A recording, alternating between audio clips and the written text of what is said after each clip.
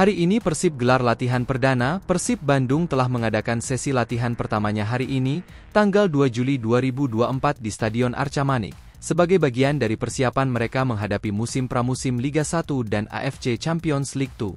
Sebelumnya, pelatih Persib Bojan Hoda telah merencanakan latihan perdana di Stadion Sidolik, Kota Bandung pada hari Selasa, 2 Juli 2024.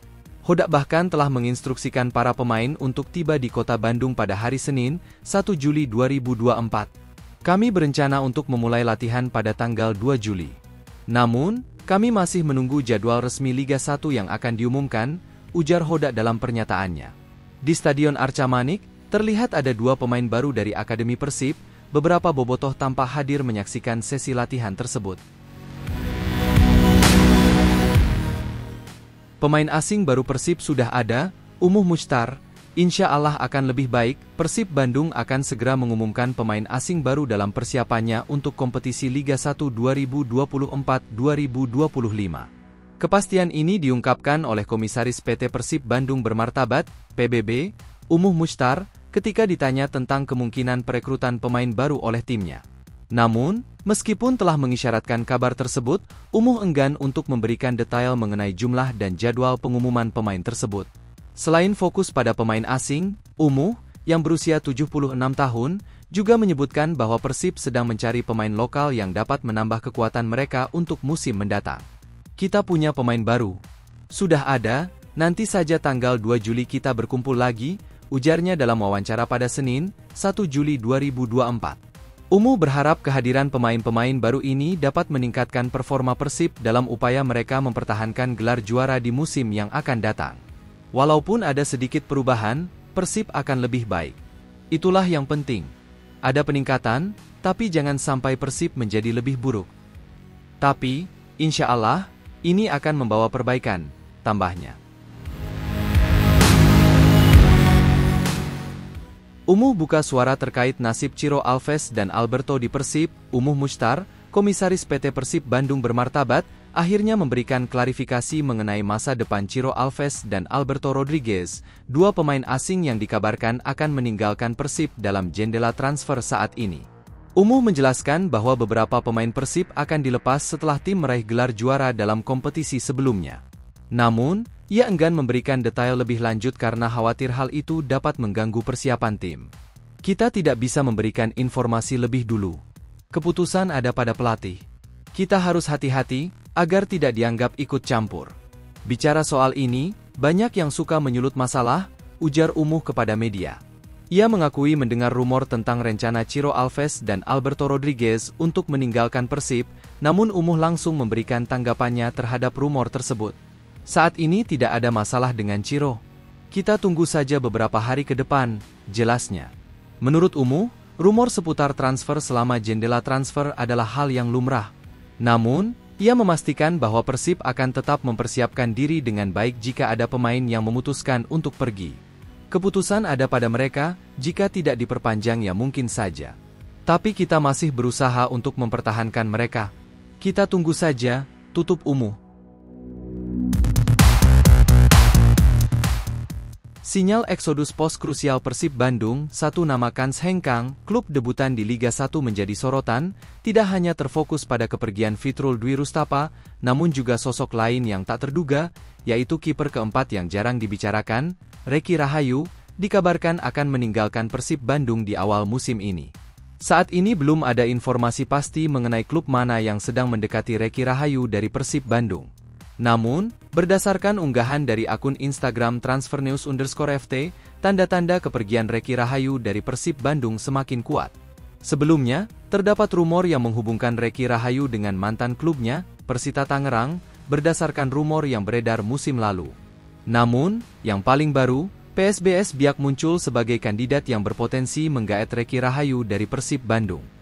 Informasi ini telah diungkap oleh akun media sosial yang menghususkan diri pada berita sepak bola Indonesia, Transfer News underscore FT. Reki Rahayu masuk dalam radar PSBS Biak, tulis Transfer News underscore FT seperti yang dilansir oleh tribunwau.com. Selain PSBS Biak, kemungkinan Reki Rahayu juga akan dipinjamkan ke klub Liga 2 seperti yang pernah terjadi beberapa musim sebelumnya, mengingat kontraknya masih berlangsung satu musim hingga 2025 mendatang. Kita tunggu apakah Reki Rahayu akan mengikuti jejak Fitrul untuk meninggalkan Persib Bandung, atau justru sebaliknya yang akan terjadi.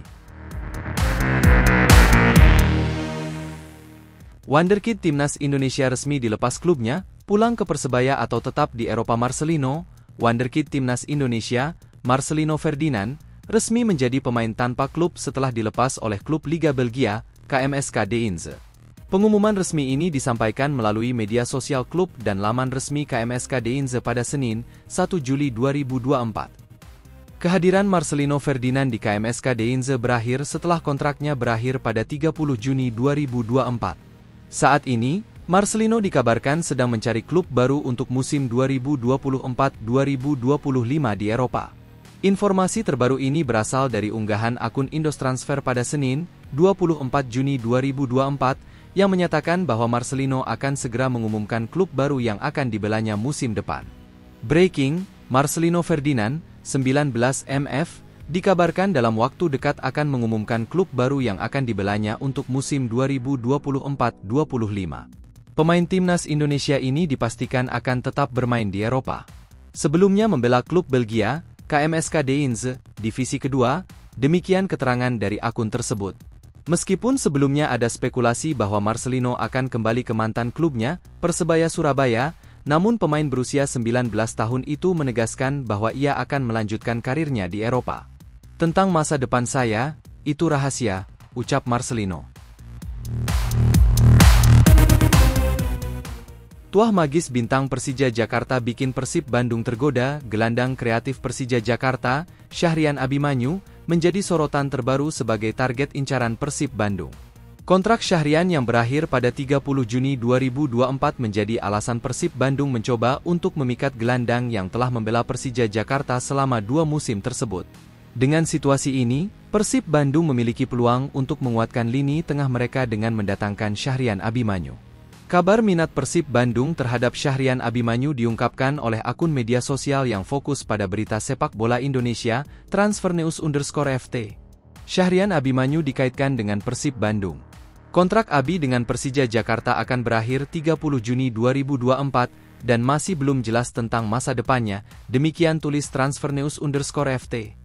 Penguatan peluang Persib Bandung ini didukung oleh pernyataan salah satu petinggi Persija Jakarta, Ambono Janurianto, yang menyebutkan bahwa kontrak Syahrian Abimanyu belum diperpanjang dan masih dalam tahap negosiasi. Kami belum memperpanjang kontrak Syahrian Abimanyu dan masih dalam proses negosiasi, kata Ambono Janurianto.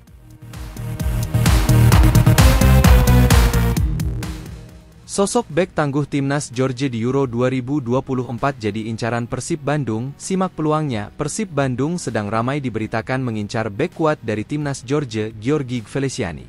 Georgi Feliciani bukanlah sosok sembarangan, saat ini ia tengah berlaga di ajang Euro 2024 bersama timnas Georgia. Meskipun kontraknya bersama Persepolis telah berakhir pada 30 Juni 2024, peluang Persib Bandung untuk merekrut Georgi Feliciani masih terbuka. Namun, Kemungkinan Georgi Feliciani untuk bermain di Liga Indonesia pada saat ini nampaknya kecil. Hal ini disebabkan Georgi Feliciani sedang fokus bersama timnas Georgia dalam babak 16 besar Euro 2024. Meskipun demikian, Persib Bandung dikabarkan telah mempersiapkan langkah jika kehilangan Alberto Rodriguez. Sebelumnya, Alberto Rodriguez sempat dikabarkan akan meninggalkan Persib Bandung di awal musim Liga 1 2024-2025.